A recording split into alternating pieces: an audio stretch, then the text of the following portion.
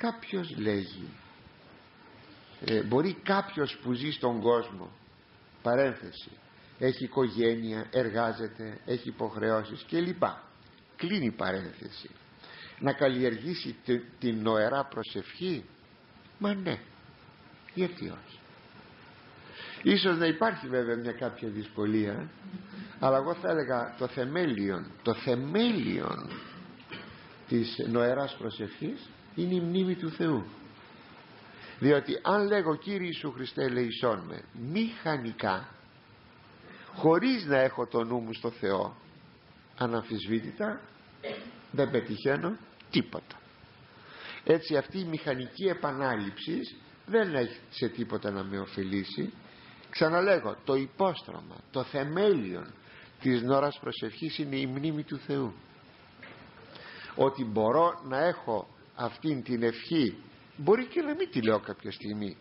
Μιλάω με τους άλλους ανθρώπους κάνω λογαριασμούς αν είμαι λογιστής είμαι στην αγορά και διαλαλώ το εμπορευμά μου. Όπως θέλετε πάρτε το. Δεν μπορώ βέβαια να λέω και την ώρα την ευχή αναμφισβήτητα. Αλλά μπορείς να έχεις προοφθαλμόν των Θεών ο Δαβίδ παραπονείται ότι και ου προέθεντο των Θεών ενώπιον αυτών. Το λέει για τους εχθρούς του.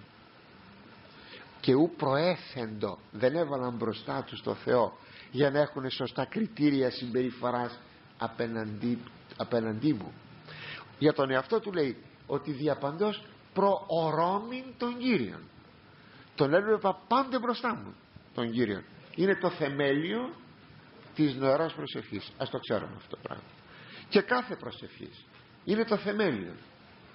Αν το έχουμε αυτό βεβαίως μπορούμε να λέμε και την ευχή Κύριε Ιησού Χριστέ ελεησόν την οποία μπορεί να μην τη λέμε διαρκώς αν έχουμε δουλειές κλπ κλπ αλλά μπορούμε όμως ευκαίρως ακέρος να τη λέμε.